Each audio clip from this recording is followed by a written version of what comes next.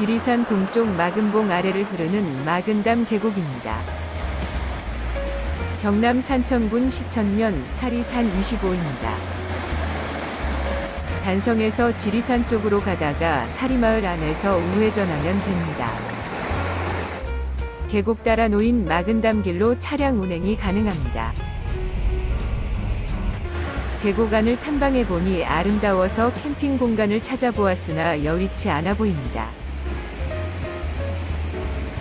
아래 동네에서 상수원으로 사용한다고 야영을 금지하는 팻말이 보이네요.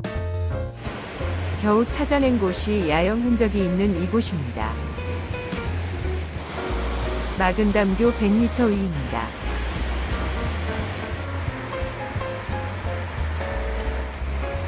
가을 속에 숨어있던 단풍이 늦은 여름 계곡을 타고 서둘러 오다가 바위에 흐트러졌네요.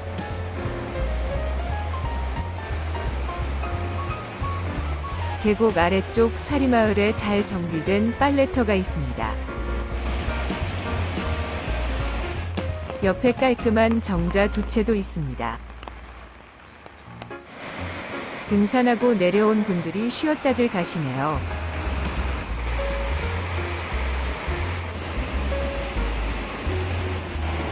계곡 안에서 캠핑이 만만치 않아 보여 빨래터 옆에 작은 물놀이 공간과 주차 공간이 있어 소개해 봅니다.